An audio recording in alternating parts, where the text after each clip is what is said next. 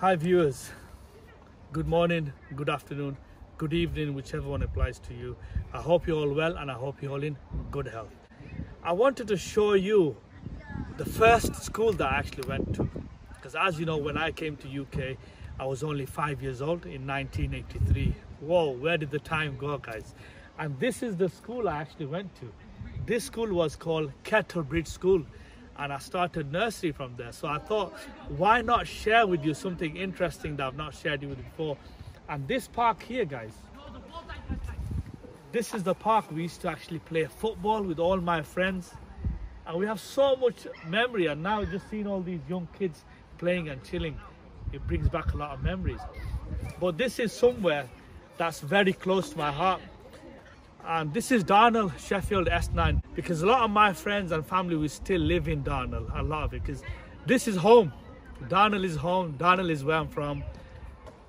Live in Darnall die in Darnall but let me show you Kettlebridge School because this is my first school. But now it's not actually a school it's actually a madrasa. But oh my god where did the time go? It brings back a lot of memories. And after that I've got a surprise for you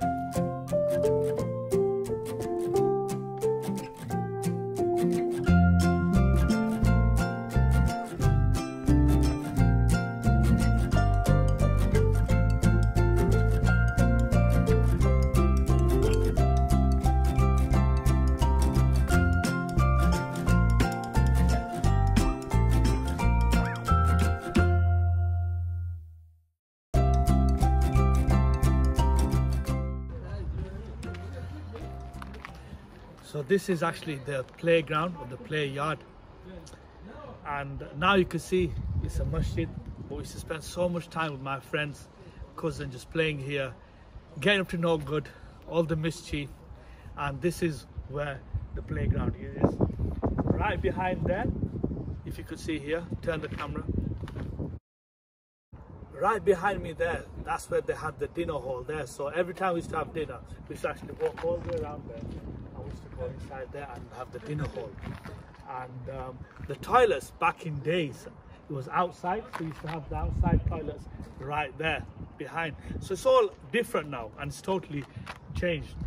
And um, the other thing I like to mention is there was actually two Bengali schools. So they used to have two Bengali schools in the afternoon from five o'clock till about six o'clock. And I'm going to show you where the schools were. So we used to have a second class. So after school at three o'clock we used to finish and then we used to go to Bengali school and it was right there. So let me show you where it was.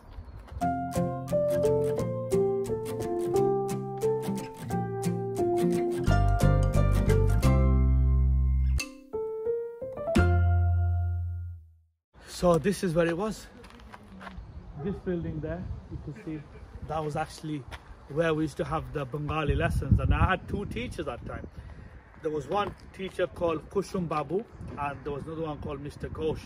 Mr. Ghosh was actually the caretaker of this place and that's was where he used to stay.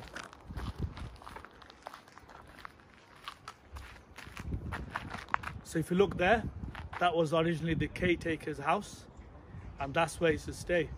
And uh, let me show you one more thing. And this is quite interesting.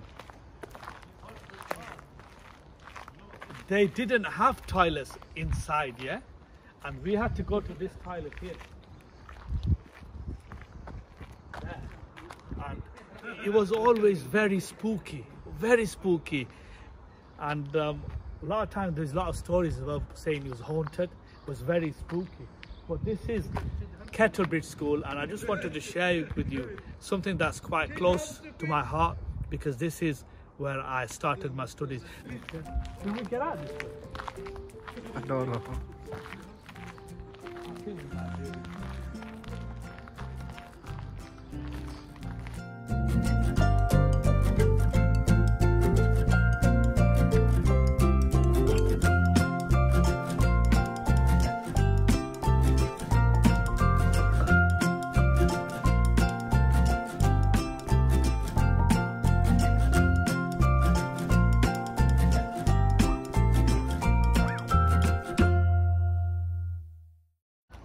One more thing I want to share with you guys and uh, don't try this at home But when we were kids, we were a little bit crazy, we were a little bit mad. What we used to do is we used to actually play on top of that roof there. And that's how crazy we were. So we used to go and play all over the roof. And uh, them days we used to watch a lot of Rambo movies and we used to do daft things like even probably jump from there and climb up all them ledges. We used to walk all around it and we used to actually spend a lot of time playing on that roof and that was insane. But these days you won't see many kids doing that. And a lot of times we used to have a lot of fights and this is where we used to fight here. That's where we used to fight. So after school, a lot of time when there used to be problems, we used to come here and we, we used to resolve the issues there. But them days used to have a lot of fist fights. None of the knives and none of the guns, none of that. So we used to go there, we used to have fights there, and then we used to shake hands and finish it off there. So whenever we used to have issues, and I'm going back in the 1980s or even early 90s, so it just shows my age. I'm in my 40s now. So we used to go there, we used to fight there, and afterwards we used to shake hands and we used to just finish it there.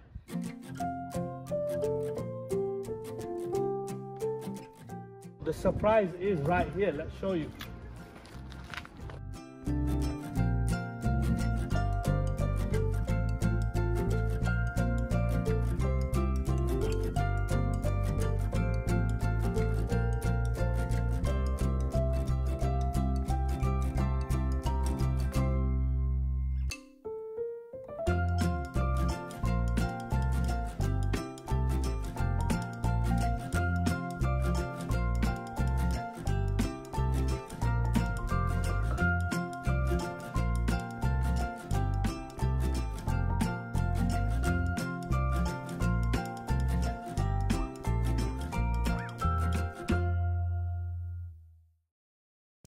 So this is the surprise.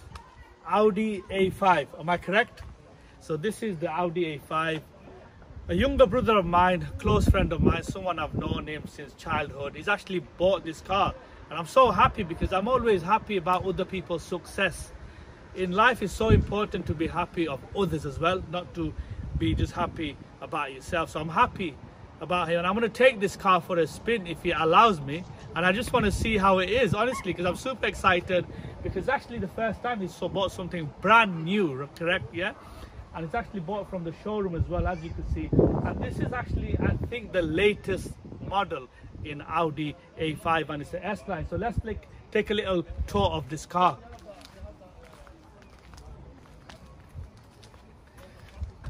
The best thing I like about this colour is the car colour itself because as you see the grey looks really nice especially with them wheels because I believe these are grey wheels as well. And it looks immaculate. Then you've got the tinted windows there. It's a real head turner this car. It's absolutely amazing. So Omar can I have the keys please if you don't mind? And let's take it for a little spin. So Omar's going to be going in that side and film as we speak as well.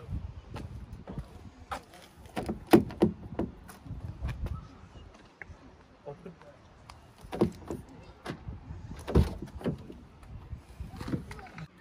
Let me tell you a few things about this car guys. So this car is an Audi A5 S-Line Quattro as Quattro as a four-wheel drive and this is actually one of the top of the range models so this was fully kitted out with so much things and uh, one more thing sorry as i mentioned before I'm, I'm, not very knowledgeable about cars but this car it has a nice roof yeah we're gonna open it and we're gonna show you how it is i bet a lot of you guys laughing you think what is this guy doing he's, he's making a car review doesn't know what he's on about. So let's open the roof. So Abracadabra, Kulja, Sim Sim. Look at that, guys. Yes. So I know in England we're not that blessed with the sun, but if it's a nice day, you could open this window, and this car will cost you, guess, fifty-one thousand pounds. This car will cost you fifty-one thousand pounds. But if you want an Audi buy Audi. I definitely recommend this Audi. Anyway, I'm not the person to give you reviews about a car, but all the best to Omar and his missus. I'm very happy. And you know, I think they've actually made me some chapatis. So I'm going to go home and eat it because they're lovely neighbors, man. A lot of respect to these guys, honestly. Because they're my next door neighbors. They're like family now. And all the time they go out of the way. And that's how close we are. And in life, it's so important to have close people around you. Have people that love you, respect you.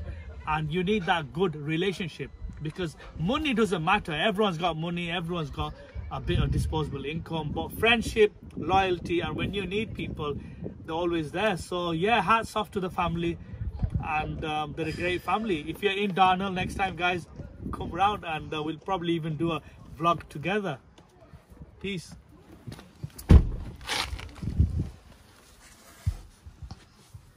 Mashallah, look at it that smell of the fresh leather as well guys it smells so nice because um, I've always drove BMWs and this car absolutely amazing. Let's start it up and let's get the seat position correct. Bismillah. So Omar might guide me. There start. Wow. Got a big screen. I think that's probably about, if I'm correct, about what 12 inch or 12 inch screen. It's all touch screen as well. Look at that. And amazing. Okay, let's do it, guys. Lock my car. Seatbelt on.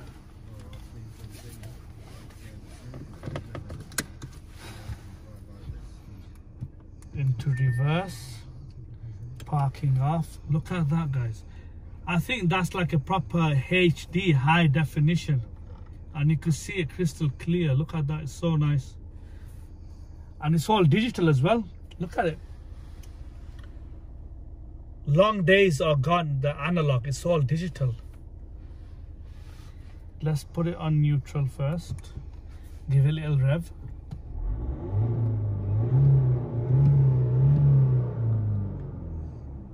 Look at that, how smooth it is. Sounds very smooth. Okay, let's go. So Omar doesn't want to be in the film because he's a little bit camera shy. But he's allowed me to drive and I just want to share with you my experience in this car. The best thing I like about this car is auto. I love driving automatic cars because they're amazing, they're easy to drive and very comfortable. Especially if you're doing a lot of driving, even motorway driving or long distance you need an automatic car. And even this car is quite a spacious car. Really spacious so comfortable even sat here. I think these are called bucket seats if i'm correct but very comfortable nice car. And uh, i'm to turn it around here and let's go back because i don't want to crash his car. He won't be very happy if i crash his car and a lot of times I don't like driving other people's car just in case, you know, because accidents do happen. But honestly, guys, this is a beautiful car. It's, uh, it's something to be proud of. And a lot of times, it's so important. If you work hard, you deserve a treat. A lot of people work hard and um, they don't spend their money well. But he works hard, his wife works hard, and they deserve a nice street, a nice car so they could go, they could chill out. But yeah, this is going to be end of my vlog and I just wanted to finish it off here. Thank you Omar for letting me drive this car and you know what, on my night off I might even take it because I'm thinking to go out of town so I might take it for a little um, drive. Anyway guys, if you like my video, subscribe, comment, share and I'll see you in the next vlog. Peace.